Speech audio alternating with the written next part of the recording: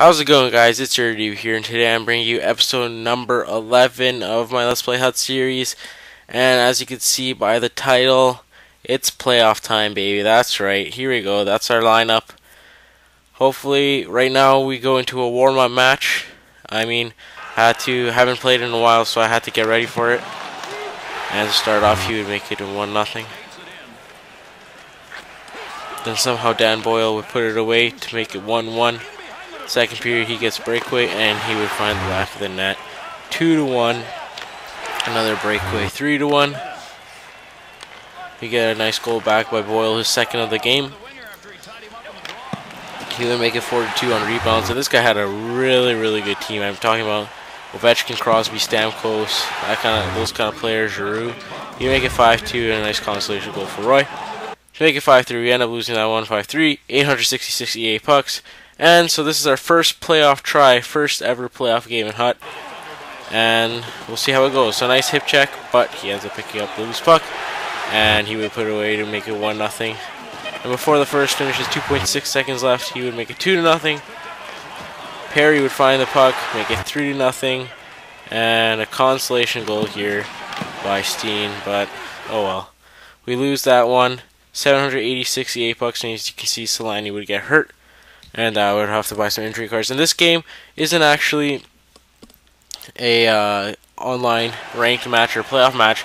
Uh, my clubmate, named Hockey Houdini, but yeah, he uh, his YouTube channel is called Better Productions HD. Check him out if you can. I don't know if he has any videos up right now, but we we played a wager match kind of thing, and he was gonna if I win he was gonna give me Crawford and if I lost I was gonna give him Visnovsky, Weiss and 500 EA pucks.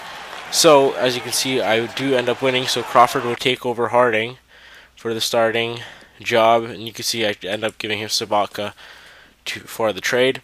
And we go up into our second playoff match, still an amateur, still trying to get a win. Crying out loud, but whatever. We start off here. Krejci would make it one nothing, and that's a good way to start the game. Lucic off the faceoff would get make it make it a tie 1-1. Somehow this beats Crawford and that would make it 2-1. Then a nice play by Roy to tie it up 2-2 and this one ended up going to OT and as you can see oh, Bork scores the second of the game and that's the OT winner.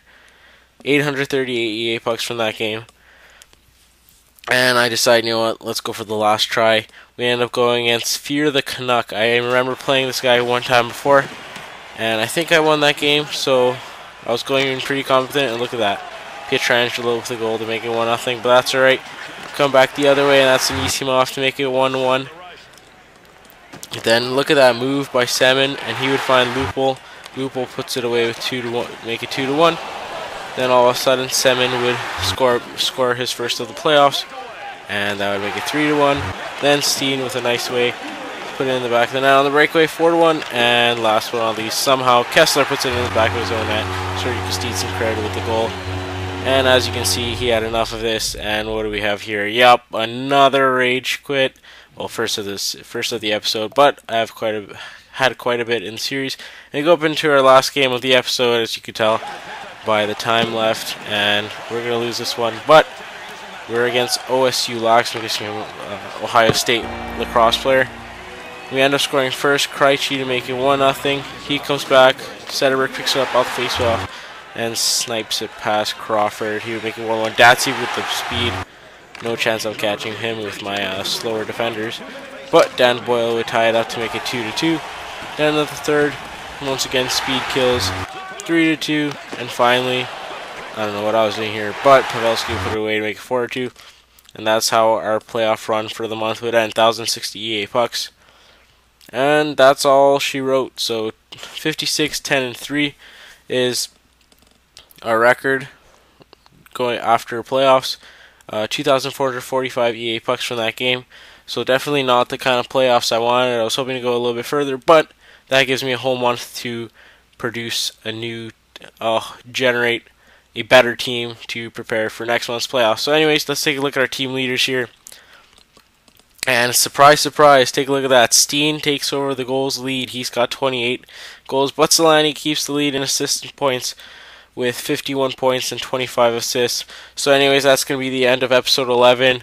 I apologize, I couldn't make it further in playoffs, but hopefully I'll be able to generate a nice team uh, for next month's playoffs and also f- including today, so Tuesday to Sunday, daily episodes. I'm going to say that.